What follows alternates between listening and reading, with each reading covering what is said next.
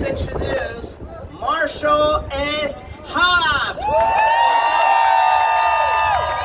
Hello, Fort Worthians. Come on now, hello, Fort Worthians. How many of you true Americans are fired up today? Come on, shout, fired up! Fired up! Fired up! Come on, give Trump a hand!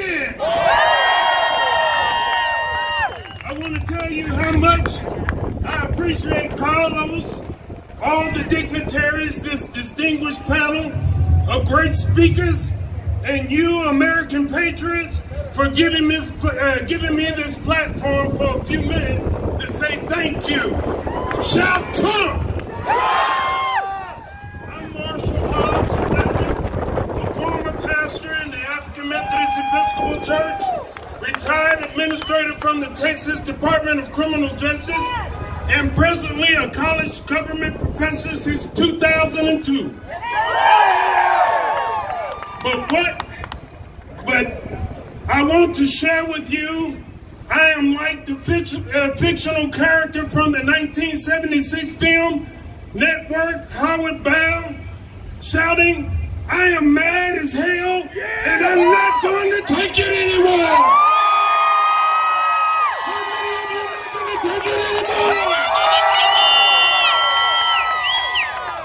It's not about Democrats or Republicans, or personalities or institutions. It is about limited government and true conservative values to be free from government, which gives us liberty. And it's about what is right and what is wrong. It is wrong to shut down our businesses. Say yeah! It is wrong to shut down our schools. Say yeah! It is wrong to infringe upon our sovereignty and individual rights, not to be mandated to do anything by government. Say yeah! So it is. Donald Trump's right to fight. Say yes! It is right for us to fight for life. Say yes! It is right for us to fight to protect our freedoms from big government tyranny. Say yes!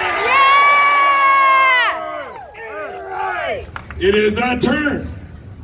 It is our time to commit in this Christian journey. We must trust in God because Trump cannot do it all by himself. No, no, no, baby. We must make America great again.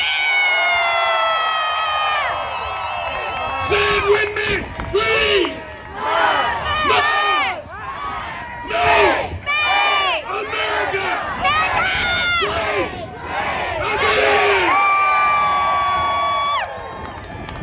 So I need you to be fired up and shout it out. I'm mad as hell, and I'm not gonna take it anymore. Shout! Shout!